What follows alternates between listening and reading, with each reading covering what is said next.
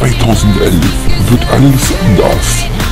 KTV präsentiert das neue Freizeitpark aktuell. Diesmal nicht nur im Phantasialand, sondern auch im Europapark und im Mittelpark.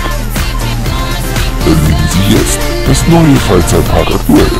Ab sofort bei KTV auf youtube.com slash KTV Podcast.